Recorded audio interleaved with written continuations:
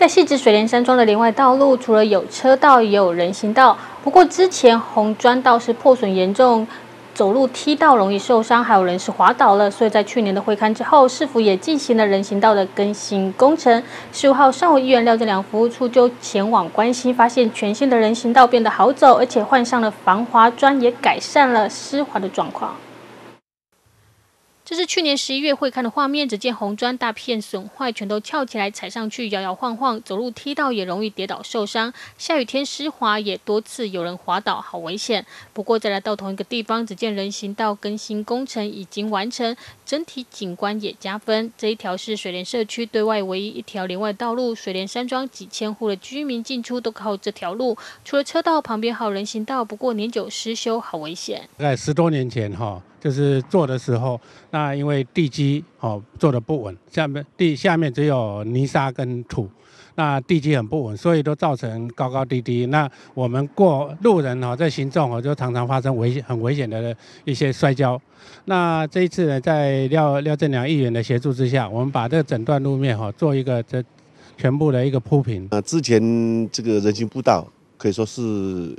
哦部分可是破损的非常的严重哦。那经理长反映之后，我们也请阳光处来试做了哦。那在年初的时候一直在试做，那现在已经做试做完成了哦。那我们跟李李长到现场来看。现在人行道更新完成，议员廖正良前往关心。从水莲桥进来大约有两百六十公尺，整条换上了全新的人行道。而这次不但底下绑了比较稳固的铁条，至于砖块则是换上比较厚而且透水度、防滑度都比较高的高压混凝土砖。完成这段时间也受到居民肯定。对这个人行道在做完成以后哈，我们。整个这用路人都反应都非常好，因为以前大家走到这里的时候都是战战兢兢，都非常怕跌倒。那现在都很放心，尤其这个护栏哈，不但说可以保护我们行人安全，那你走累了也可以坐下来哈，大家休息一下。这个做这个护栏，让我们这边在行走的时候不小心会会跌落这个山谷的情形的发生哦啊，尤其我们跟李长在这边看了之后，哎，裂了，哎，左裂了哈。也可以在这边休息一下子，我哎这样做了一下子，哎也是非非常好的哈，一举两得。我想这个是诶对水莲山庄这个老弱户来从这边出入的话，一大福音。